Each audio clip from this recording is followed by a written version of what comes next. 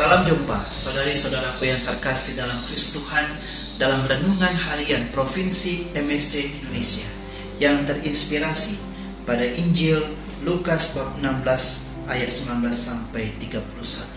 Sabda dari hati untuk dunia yang baru. Saya akan membuka renungan singkat saya dengan sebuah nyanyian. Hidup miskin jangan salahin Tuhan. Mau senang harus banting tulang Semua orang lahir pasti telanjang. Tidak ada yang bawa uang. Ya kaya tidak boleh pelit Pelit dan yang miskin. Jangan putus doa Harta kita tak boleh disimpan-simpan saja. Sedekah ditambah, pasti harta nambah. Yang penting jadi berkah. Saudara-saudaraku yang terkasih dalam Kristus Tuhan, lagu yang saya nyanyikan itu, itu ada hubungannya dengan Injil hari ini.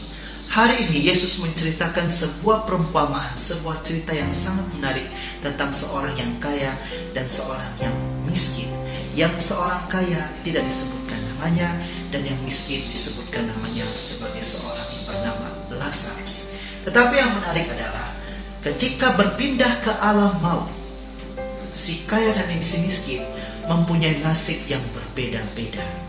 Yang si kaya dikatakan sangat menderita di alam penderitaan alam maut dia sangat menderita. Kepanasan, kehausan.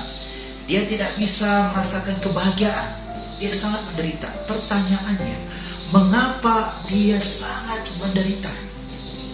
Karena dia selama hidupnya menyimpan harta untuk dirinya sendiri. Ketika melihat sesama yang susah si Lazarus dia tidak mau berbagi sedikit pun kepada sesamanya. Lazarus yang sangat menderita tetapi itu berbanding terbalik dengan si Lazarus yang miskin.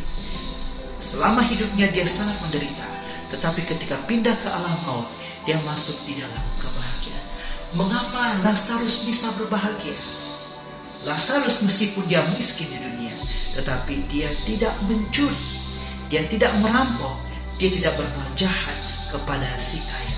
Dalam setiap kemiskinannya, dia tidak berbuat jahat kepada si kaya. Untuk itulah Lazarus bisa masuk ke dalam kebahagiaan. Saudari-saudaraku yang terkasih dalam Kristus Tuhan, si kaya pun tidak tahu diri. Di alam pendeta pun dia masih menyuruh-nyuruh Abraham untuk meminta Lazarus untuk mencelupkan kaki Lazarus untuk menyejukkan, mencelupkan kaki Lazarus ke dalam air untuk menyejukkan lidahnya. Dan dia pun menyuruh Bapak Abraham untuk mengutus Lazarus untuk menampakkan diri kepada saudara-saudaranya agar dia tidak agar mereka pun tidak menderita juga bersamanya di dalam alam maut. Saudari-saudaraku yang terkasih dalam Tuhan, Allah memberikan segala rezeki, makanan, minuman, pakaian, rumah, rezeki, uang kepada kita. Tapi Allah juga meminta kepada kita, janganlah engkau simpan harta itu. Kalau engkau menyimpan harta itu berarti engkau mengandalkan dirimu Kau mengandalkan hartamu sebagai Tuhan, sebagai Tuhan atas dirimu. Tetapi harta yang diberikan oleh Tuhan kepada kita seharusnya kita salurkan kepada banyak orang. Supaya apa? Supaya harta itu tidak menjadi Tuhan, tidak menjadi Tuhan atas diri kita sendiri. Saudara-saudara yang terkasih, harta kekayaan itu sarana. Sebenarnya itu kalau kita dapat, membantu orang lain yang sedang membutuhkan.